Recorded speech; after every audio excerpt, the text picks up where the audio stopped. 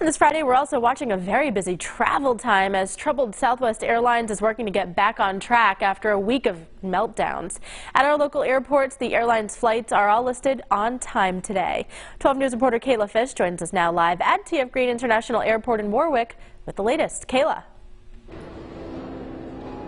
Well, Kate, as you mentioned, all uh, things are good for Southwest today. Only one Southwest flight into TF Green was canceled here. All other arrivals and departures are currently on time. In the meantime, there's still rows of luggage downstairs near baggage claim waiting to be reunited with their owners. And for Southwest, the focus now turns to making things right for those who were affected.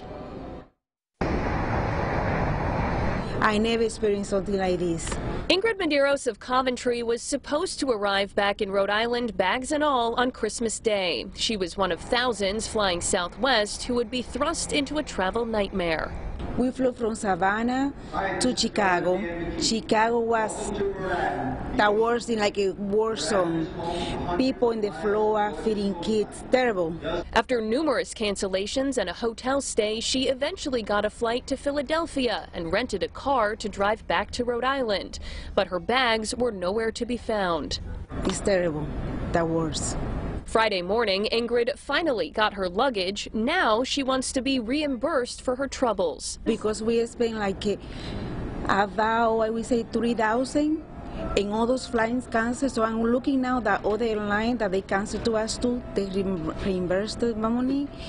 And of course, Southwest should pay at least for the hotel. And we pay Uber back and forth and all the stuff food, everything. And she's not alone. An estimated 1 million passengers were impacted by Southwest's operational meltdown over the holidays. The airline is now accepting requests for reimbursement from travelers affected from Christmas Eve through January 2nd. Not only for tickets, but meals, hotels, and alternate transportation, though the airline said those reimbursements could take weeks. And in a letter to Southwest CEO late yesterday, Transportation Secretary Pete Buttigieg called these disruptions, quote, unacceptable. Buttigieg then posted on Twitter promising to Southwest customers they would hold the company accountable and make sure those refunds get to those who need them. Live in Warwick, I'm Kayla Fish, 12 News.